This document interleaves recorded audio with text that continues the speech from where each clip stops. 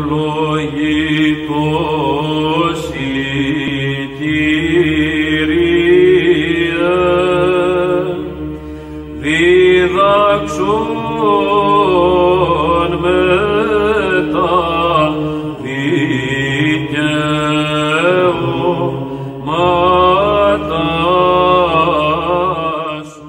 Τα τελευταία χρόνια βέβαια ήταν τα δυσκολότερα και τα χειρότερα για το ιερό προσκύνημα, διότι με τον πόλεμο των 6 ημερών του 67 που μπήκαν οι Εβραίοι και κάνανε κατοχή εδώ πέρα, κοιτάξανε με παντίου τρόπους πως να πάρουν το ιερό προσκύνημα από τα χέρια μας και από ιερός ναός να το φτιάξουν συναγωγή. Γι' αυτό το λόγο και μόνο τον προκάτοχό μου, τον οσιομάρτυρα φιλούμενο, τον κατακρεούργησα μέσα σε αυτόν τον ιερό τόπο με 36 τσεκουριές στον αριθμό